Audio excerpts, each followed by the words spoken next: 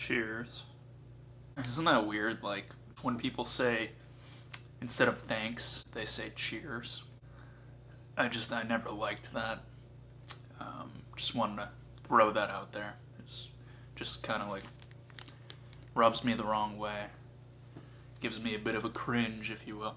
Okay, so continuing classics that have influenced me personally.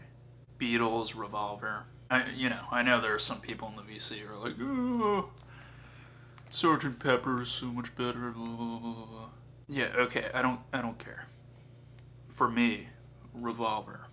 Just want to note that I love Sergeant Pepper, Sergeant Peppers, and I mean no disrespect to anyone who likes that album, uh, because I, I like that album. Just want to, you know, disclaimer, whatever. Okay.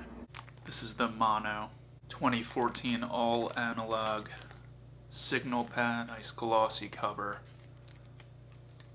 fold back. You know, not imitate, not imitation fold back as many in the VC and people into music and vinyl know. Very well done. Sound, packaging, everything. So starts out with Taxman, really awesome downstroke guitars, and the you know fuzz guitar solo on here is amazing. Great lyrics, great song, 10 out of 10. Eleanor Rigby, one of the first songs that really explores sort of alienation and really sort of like gothic vibes, if you will. Great vocals by Paul McCartney, 10 out of 10. I'm Only Sleeping, sort of an anthem, at least for me. Great melody, great vocals by, I believe it's John, 10 out of 10. Alright, I'm just, I'm gonna stop saying because they're all 10 out of 10.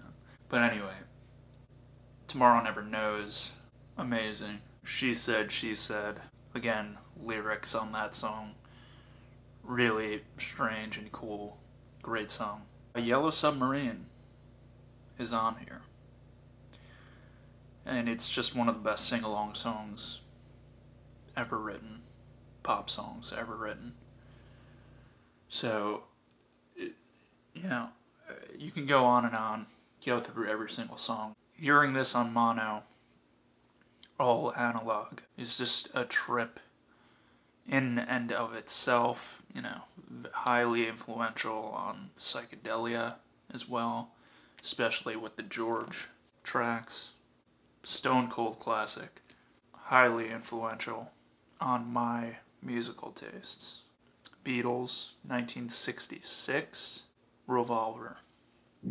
Gotta get a load out of the laundry. I think I might be going bald, but more on that later.